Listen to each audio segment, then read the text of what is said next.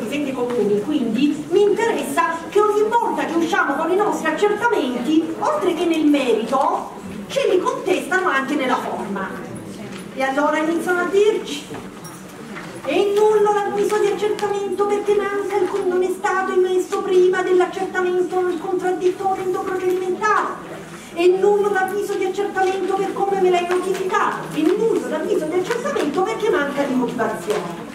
Soprattutto mancato contraddittorio endoprocedimentale e sul vizio di motivazione, i contribuenti insistono con due tipologie particolari di accertamenti. Gli accertamenti che disconoscono l'esenzione ex articolo 7, gli accertamenti con i quali li andiamo ad accertare eh, l'abitazione perché non ha i requisiti per essere considerata abitazione principale, ne parleremo, anche lì la Cassazione ad agosto ha chiuso il cerchio, finalmente sappiamo come regolarci con questi benedetti coniugi.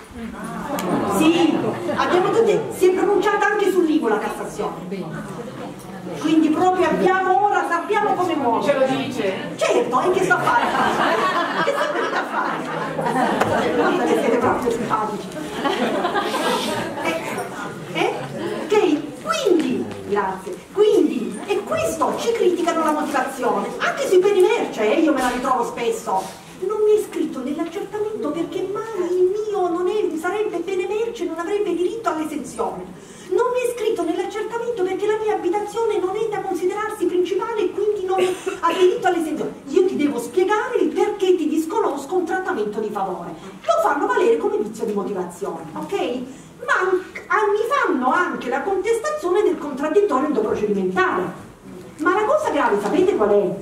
Che le commissioni tributarie, la regionale di Milano per esempio, che poi le hanno pubblicitate molto, queste sentenze. Eh? Eh, alcune sono mie, nel senso mie di, di, dipendendo dei comuni, eh? dove su esenzioni, non sapendo cosa dire nel merito, mi hanno annullato l'avviso e ora siamo in Cassazione, il comune di Ecco, adesso la dottoressa non è in sala in questo momento, ve lo potrà confermare, ci hanno annullato gli avvisi di accertamento emessi nei confronti di scuole paritarie ICI assolutamente legittimi, ecco, perché non ne sono stati preceduti dal contraddittorio procedimentale. Cioè, guardate, roba proprio che ci sarebbe, vabbè, ecco. Allora, come stanno le cose? Voi sapete bene, nel lontano 2015 c'è stata effettivamente un'ordinanza della Cassazione che ha rimesso alle sezioni unite questa questione. Perché? Perché nel 2014, ad ottobre, le sezioni unite, parlando, pronunciando su un'ipoteca, un'iscrizione di ipoteca, non proceduta dalla comunicazione preventiva, ve la faccio breve, aveva detto esiste un principio che è di rango europeo, comunitario, in base al quale quando un ente impositore emette un atto impositivo, che sia un'ipoteca, un accertamento, anche un atto di mera liquidazione, deve prima invitare il contribuente al contraddittorio, prima di emetterlo. Ok? Non è l'accertamento con adesione, emetto l'avviso, il contribuente mi fa istanza di accertamento con adesione, prima di emetterlo. Queste sezioni unite del 2014 già ci avevano preoccupato, tant'è che a gennaio 2015 la Cassazione rimette alle sezioni unite la questione. Un contraddittorio prima dell'emissione di un qualsiasi accertamento? Pena la nullità? La Cassazione a sezioni unite a dicembre 2015 ha messo la parola fine e ha detto sì, è sempre necessario, pena la nullità dell'avviso di accertamento, per i tributi armonizzati. Cioè sono quei tributi che devono sottostare alla legge, al diritto comunitario. Quindi siccome il diritto comunitario lo prevede, giustamente dice la Cassazione, i tributi soggetti, l'IVA, l'IVA è un tributo armonizzato, cioè deve sottostare alle prima che ancora che alla legge italiana alle regole comunitarie. Quindi le sezioni unite giustamente hanno detto per i tributi che devono sottostare, siccome per il diritto comunitario questo principio c'è, piaccia o non piaccia, quindi chiaramente un avviso di accertamento IVA, l'Agenzia delle Entrate, prima di emetterlo, deve necessariamente fare invitare al contraddittorio il contribuente. Poi se il contraddittorio può avere esito negativo non importa, emetterà l'avviso, ma se non fa questo invito al contraddittorio prima l'avviso è di per sé nullo. Per i tributi non armonizzati, quali i nostri che ci interessa questo, i tributi locali, devono seguire e rispettare il diritto comunitario, proprio perché non sono soggetti. Quindi, salvo che non lo preveda specificatamente la legge che disciplina quel tributo, non c'è alcun obbligo di un contraddittorio preventivo prima dell'emissione dell'avviso. Poi se il contribuente lo può fare, vedi gli accertamenti per l'esenzione ex articolo 7 che vi ho detto prima, facciamo un passaggio per la verifica dei documenti se li spettano o spettano, ma è una scelta. Ma il mai il contribuente ci potrà contestare, o meglio ce lo contestano, poi c'è anche qualche giudice poco brillante che gli dà ragione. Ma io, secondo voi, mi hanno preoccupato che CTR che ci hanno dato torto? No, assolutamente ma proprio mi dispiace per il comune che ha dovuto sobbarcarsi le spese per andare in Cassazione, questo sì. Ma io proprio i gusti che mi prenderò saranno eccezionali, anche perché la Cassazione si incacchia parecchio quando si porta, si solleva una questione sulla quale ha già deciso in maniera definitiva, si incacchia proprio di brutto. E l'incacchiamento lo vediamo nelle condanne alle spese. 10, 20, 30 mila euro di condanne alle spese. Mm, ecco quindi io non mi sono preoccupata, mi dispiace solo che i comuni, i comuni sono costretti ovviamente a sopportare delle spese per andare avanti nei contenziosi. Quindi è detto le sezioni unite e guardate, sezioni unite seguite, queste sono soltanto proprio due o tre delle pronunce eh, successive. Se la legge per i tributi non armonizzati, per i tributi locali, solo se lo prevede specificatamente la legge, altrimenti non esiste nessun obbligo di contraddittorio e qui quindi siamo tranquilli. Cosa fa il decreto crescita in sede di conversione? Ha introdotto questa disposizione. L'articolo 4 octies. 4 octies. Sì, è pure Infatti, obbligo di invito al contraddittorio, e già ci piace poco questa intitolazione. Eh. Cosa ha fatto? Seguitemi. Cosa ha fatto questo articolo 4 Octies? È andato e poi l'hanno quando si dice proprio la cattiveria perché sì perché lo hanno inflato in maniera che uno magari non se ne accorge ma c'è l'avessero infilato nella norma d'imposta no? l'articolo 13 sull'IMU uno lo vede e dice ah cavolo l'hanno messo, siccome le sezioni unite hanno detto che se legge, se la legge d'imposta lo prevede, l'obbligo c'è, io lo vedo chiaramente, purtroppo c'è. Loro non l'hanno messo nell'articolo 13 sull'IMO, nella 147 sulla IUC, lo hanno infilato nel decreto legislativo 218 del 97. Qual è questo decreto? L'accertamento con adesione.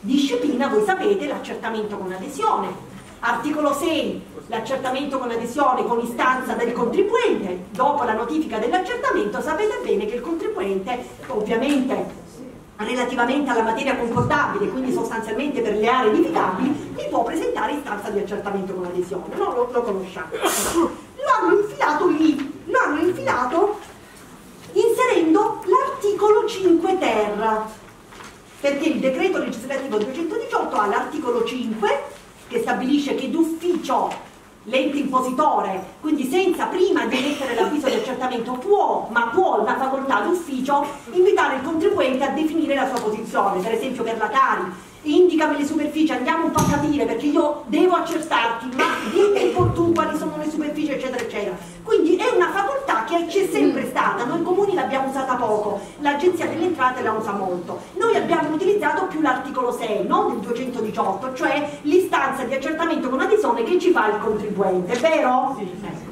Questo è stato inserito nel 5 ter e dice l'ufficio fuori dei casi in cui sia stata rilasciata copia del processo verbale per i nostri tributi non c'è, prima di emettere un avviso di accertamento notifica l'invito a comparire. Per l'avvio del procedimento di definizione dell'accertamento. Mm? in caso di mancata adesione, io ti, io ti invito, contribuente, non ci mettiamo d'accordo, l'avviso di accertamento che metterò deve avere la motivazione delle ragioni per le quali non c'è stato l'accordo, pena la nullità di quell'avviso. Il mancato avvio del contraddittorio comporta l'invalidità dell'avviso di accertamento qualora a seguito di impugnazione il contribuente dimostri in concreto le ragioni che avrebbe potuto far valere. Quindi sempre, perché basta che io contribuente impugni e dico io avrei potuto uh, produrre questo documento, anche se non rilevante, non determinante, è sufficiente che provi che aveva un, anche una piccola pezzo di carta da produrmi e io non gli ho dato l'opportunità di produrmelo. Ok? Allora, finisco e poi subito la parola. Questa disposizione, questo articolo 5 ter, espressamente, non a caso, la sua entrata in vigore è stata posticipata agli avvisi di accertamento emessi dall'1 luglio 2020. Detto questo, e poi vi do la parola, cosa dobbiamo fare noi l'anno prossimo nel nostro regolamento? Se io nel mio regolamento, come spesso accade, ho inserito, voi sapete che l'articolo 9 comma 7 del nostro del, comma 5 anzi scusate del nostro del decreto 23 2011 sull'IMU cosa dice? i comuni possono inserire l'istituto dell'accertamento con adesione secondo i parametri di cui al 218 vero? se il comune nel regolamento richiama il decreto legislativo 218 punto necessariamente, necessariamente e la, la, relazione illustrativa il decreto ovviamente lo dice ma non è che c'era bisogno necessariamente noi siamo obbligati anche a questo articolo 5 ter. Quindi saremo costretti al contraddittorio preventivo prima dell'emissione dell'avviso, diversamente il contribuente che già lo fa adesso, ma dopo ora lo farà con una legge che gli dà ragione, quindi non avremo più scampo, ce lo contesta per nullità, per mancato invito al contraddittorio. Se invece io nel mio regolamento specifico propongo sì l'accertamento con adesione, ma indico gli articoli oppure specifico ad esclusione dell'articolo 5 ter, io mi porto l'accertamento con adesione, che è un istituto che quasi tutti i comuni hanno ed è giusto che ci sia, ma questa, questa, norma non si applica, perché la legge mi dice che il comune può applicarlo e può anche recepire solo in parte, può regolamentare l'accertamento con adesione se lo, lo regolamenta in maniera difforme al 218 ok, ma se come io leggo in molti regolamenti c'è il richiamo al decreto legislativo 218 non ci troveremo l'obbligo dell'invito al contraddittorio, non ci sono storie. Non avremo modo di arginare i contribuenti che ci cepiranno la nullità degli avvisi di accertamento se non sono stata chiara ditemelo. Eh? Sono i vostri regolamenti? C'è un recepimento del decreto legislativo o avete regolamentato l'accertamento con adesione? Punto. Allora immediatamente l'anno prossimo dobbiamo rivederlo. Non a caso l'entrata in vigore è stata posticipata, scusate, all'1 luglio 2020, agli accertamenti notificati dall'1 luglio 2020. Quindi non è ancora in vigore, non ce lo possono contestare per tutti gli accertamenti che noi abbiamo e che notificheremo fino all'1 luglio 2020. Ok? Quindi abbiamo tutto il tempo, è stato fatto apposta questa, questa applicazione successiva per rivedere i nostri regolamenti, controlliamo e vediamo. Se noi abbiamo scritto si recepisce l'accertamento con adesione ai sensi del 218, poi abbiamo specificato, abbiamo aggiunto delle cose diverse, anche quello non va bene. Dobbiamo proprio espungere questo articolo 5 ter, ok? Lo dobbiamo proprio specificare che l'articolo 5 ter non si applica, perché non basta che io, come dire, regolamentato in maniera mia l'accertamento con adesione se però ho richiamato anche il 218 significa che si applica tutto il 218 in più poi ho voluto prevedere delle varianti. Io devo proprio specificare che dell'articolo o, o dico l'accertamento con adesione è questo lo regolamento senza citare.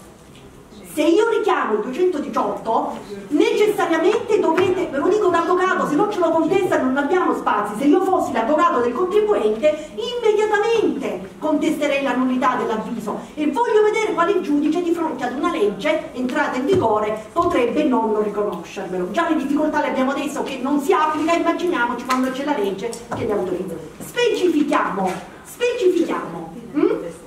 non si applica l'articolo 5 ter del decreto legislativo, non trova applicazione l'articolo 5 ter del decreto legislativo 218 del 97. Sapete qual è la cosa grave? Poi vi do la parola. Che io leggendo, ma tanti articoli, eh?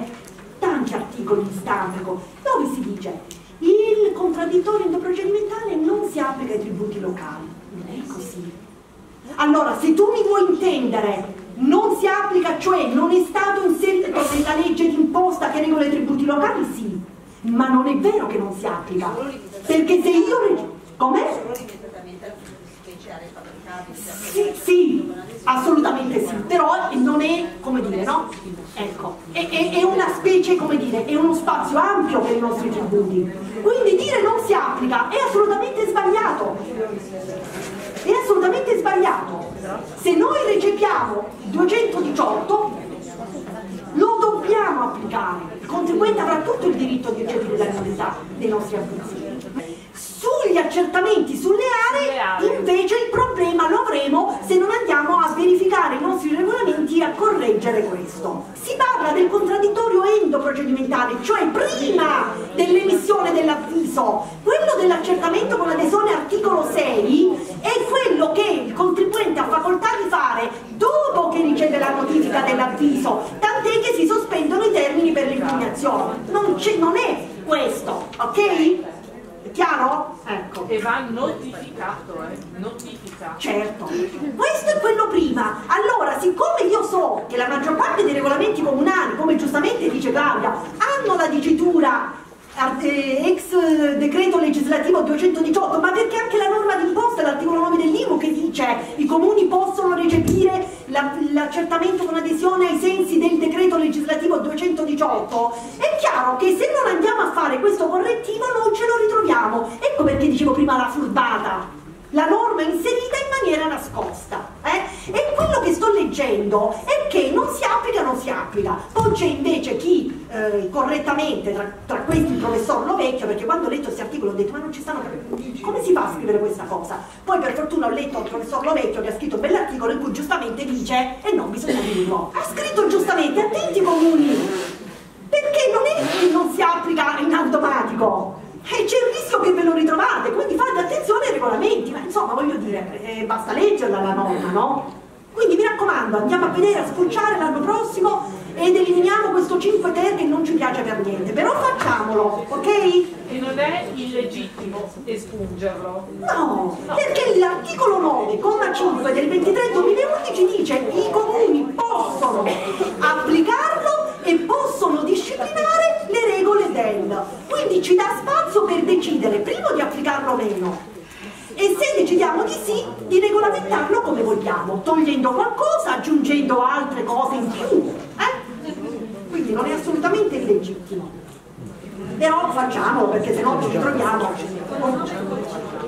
Articolo 9,5 del decreto 23 2011 che è quello che ha dell'IMU, no? che ha istituito l'IMU, che in questo comma ripete quello che era già contenuto nell'articolo 10 del 504 per l'ICI, cioè i comuni possono, eh, se vogliono, eh, utilizzare questo istituto. Ad agosto ho letto un paio di articoli su Italia Oggi, non so chi di voi li ha letti, ma hanno allarmato molti, infatti poi ho ricevuto un sacco di mail da comuni, dove... Ehm, eh, dove una persona ha scritto che eh, c'è l'obbligo per l'ufficio tributi di emettere tutti gli atti impositivi tributari digitali. Dice no, ma c'è l'obbligo. Le modifiche al CAD apportate dal decreto 218 del 2017, entrato in vigore a gennaio 2018, hanno imposto agli uffici tributi non solo di notificare, non stiamo parlando della notifica, di redigere gli atti digitali, non più cartacei. Perché l'articolo 40 del CAD così come è stato modificato dice questo. Ora non, non scendo nei particolari perché non ho tempo, poi però le slide ce le avete. È una sciocchezza, ma proprio grossa. Cioè, ma lei che ne sa? Prima perché le norme le leggo, secondo perché insieme al professor Mancarella, alcuni di voi lo sanno perché ne ho parlato anche in altri corsi, io abbiamo scritto la riforma, il decreto 217 che è entrato in vigore l'1 gennaio 2018 l'abbiamo scritto eh, diciamo il professor Mancarella, lui perché sta ai tavoli che hanno della prima redazione del CAD e delle varie riforme. E io siccome gli ho chiesto per gli aspetti tributari se potevo dare, intervenire perché poi sai questi che professori di informatica giuridica sono bravissimi sull'informatica giuridica ma tributi proprio niente. Quindi ho detto prima che vadano a farci qualche guaio, andiamo a dire che questa riforma tenga conto della specialità della materia tributaria. Quindi non fatevi alcun problema, noi possiamo, non dobbiamo, possiamo, è una nostra scelta di redigere, di formare gli atti digitali piuttosto che continuare con il cartaceo, l'analogico, ok? Molti comuni li fanno digitali, cioè atti digitali. È chiaro che chi li redige direttamente digitali li notifica necessariamente via PEC, ma è una facoltà quella di redigerli digitali o analogici, carta, così come una facoltà quella di notificarli a mezzo PEC. Ok? Quindi la notifica PEC di un atto che è un atto digitale, mi scusi, è un atto digitale? Noi di solito facciamo firmati digitalmente, sì. Firmati digitalmente, però le chiedo, nasce digitale no. o è una scansione? Quindi è una eh, copia informatica di un atto analogico? PDF, è una creazione PDF firmato digitale. Beh. Quindi è una copia informatica dell'originale analogico. Va benissimo, c'è la firma digitale perché va, serve la firma digitale ad attestare che quella copia informatica è conforme all'originale, quindi abbiamo benissimo rispettato le regole del CAD, lo notifichiamo, usiamo la PEC naturalmente tratta dall'INIPEC perché l'articolo 60 prevede specificatamente che la PEC deve essere quella dell'INIPEC, notifica perfetta. Naturalmente è rivolta ad una società di professionisti, perché voi sapete bene che... Come? No, più che un permesso devono benissimo, devono loro rilasciarci sì. Se ce lo rilasciano, bravissima, se ce l'hanno rilasciato, ma questo perché lo prevede il CAD, eh, l'abbiamo introdotto in vigore da gennaio 2018, per le persone fisiche che non sono obbligate ad avere la PEC, se ci rilasciano un'autorizzazione non potranno poi domani lagnarsi. Cioè ma vabbè ma la PEC io non sono obbligato quindi la notifica è nulla. No mi hai tu autorizzato? Ma non è tanto perché mi hai autorizzato, perché c'è la legge che dice che se il contribuente ci autorizza, quella notifica è valida e non potrà lagnarsi. E l'autorizzazione va bene anche per Gmail? Cioè Assolutamente sì, certo. La forma è libera, purché sia chiaro che ci ha autorizzato e per quali atti ci ha autorizzato, cioè IMU, EBES, IMU, TASI, TARI, tutti i tributi, solo uno, due, tre, quello ce lo deve specificare. Va bene? Scusate. però la collega, l'atto nasce in PDF, non è una scansione, no, però la Certo, è una, necessariamente una copia. Perché, certo che una, perché altrimenti non, non potrebbe essere un semplice PDF ok? Il PDF è sempre, non è atto digitale, l'atto digitale è il PDFA o il P7M, quelli sono i formati digitali. Quelli che io posso notificare, cioè è il P7M, non il PDF. Ah, PDFA sì, PDFA, non il semplice PDF. PDFA e P7M sono tutte e due firme elettroniche certificate che hanno la medesima valenza. Questo l'hanno chiarito anche le sezioni unite perché i primi giudici tributari chiamati a decidere, benissimo, dicevano no, non è P7M, quindi questo non è atto digitale, non è firma digitale. Comprendiamo anche che l'ignoranza della materia di informatica giuridica ce l'abbiamo un po' tutti, no? Ecco, poi... Ehm, gli informatici giuridici si sono fatti due risate quando hanno letto queste pronunce perché hanno detto ma quando mai? Le firme digitali sono due, P7M, Cades, Pades. Eh? P7M è l'estensione, ok? Eh, qui sono Cades e Pades. P7 estensione P7M e, oppure il PDFA. Ecco. Poi le sezioni unite lo hanno anche detto, quindi ormai tutti non la siamo. Ma queste sono le due firme digitali.